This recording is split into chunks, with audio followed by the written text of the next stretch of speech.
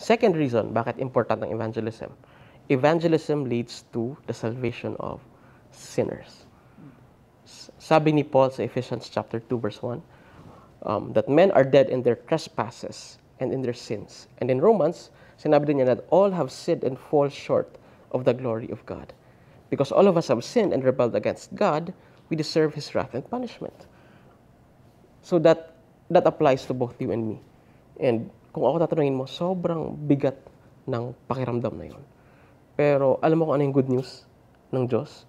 Man, but mankind is not left in misery. Kasi kung isipin mo, may good news eh. Andun yung gospel. And Paul says in Romans 10 verse 13, everyone who calls on the name of the Lord will be saved. And Paul is saying that those who worship God are saved. Ngayon, good news pa yun o hindi? Good news. Sa buhay mo ba noon, Jake, parang ano ba yung pumigil sa'yo sa tingin mo um, to surrender your life to Christ? Uh, I think it's uh, mostly myself. Uh, I wanted to be in control. Pero yung consequence ng trying to be in control led to, well, uh, you know, hopelessness, pain, uh, and uh, in pursuit of yun nga, gusto lang ng pleasure, puro pain lang. And then, that's when I became parang, parang no choice na kung si Lord, pero that's where I found out He was the only choice for for a happy life. And not, not just a happy life, it's the only life here na available. So it's the good news. Yeah, totoo naman. And kung come to think of it, how will a sinner, an idol worshiper, a rebellious person like you and me would actually turn to God and worship Him? Parang kung iisipin mo kasi, imposible siya eh. Like, hindi mo ma mababali yung tao para bigla lang sambahin ng Diyos. Kailangan talaga may mabago sa puso niya, sa buhay niya. Sabi nga ni Paul sa 1 Corinthians chapter 10 verse 13 to 17, 'di ba? He actually presented a very logical case um, in terms of preaching the gospel. So sabi sa Romans 10 verse 13 to 17, How then will they call on him whom they have not believed? And how are they to believe in him of whom they have never heard?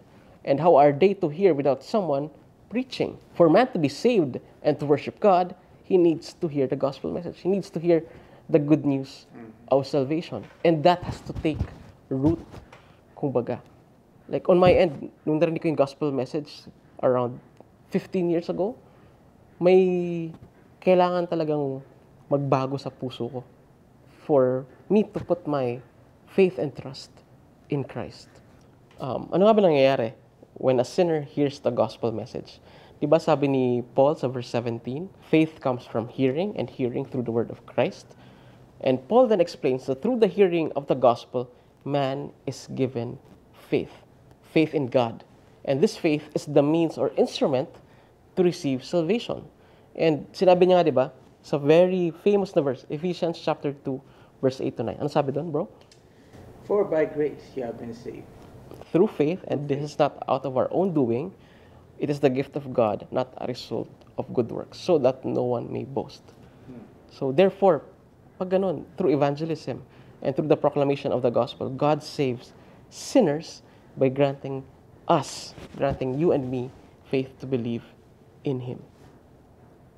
Yeah, with that being said, uh, papaisip nga ako Kuya Mong na ang galing lang na I have been a recipient of the grace of God, no? Uh, totoo, hindi, wala kang mapagyayabang eh.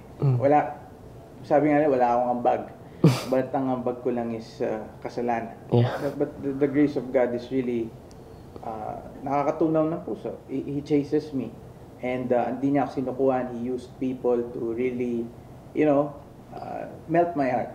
Melt my heart talaga. When I was really, sabi nga natin, uh, idolatry, uh, uh, re- rebellious, no? But he, he used people as well. You know? Ultimately, it's God chasing me, no? So that I could really surrender my life to Him. And that's, that's so that's so nice. That's a nice point that you have shared.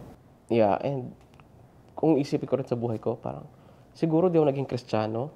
I mean, kung hindi ginamit ng Diyos yung mga taong nag-share din sa akin ng gospel. Mm.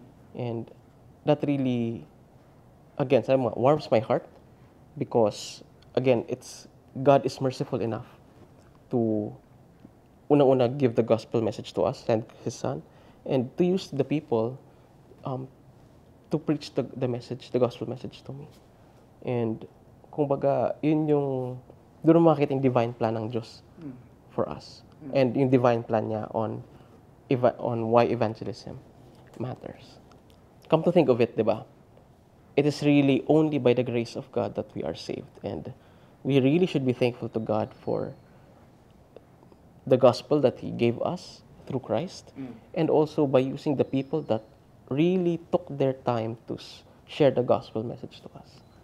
Nakakataba ng puso yun, eh, na tipong, oh nga no, in hindsight nga, sabi mo, grabe kung siguro kung sinukuan ako, sinukuan ako ng teacher ko nung high school, Right? Di ako papasa.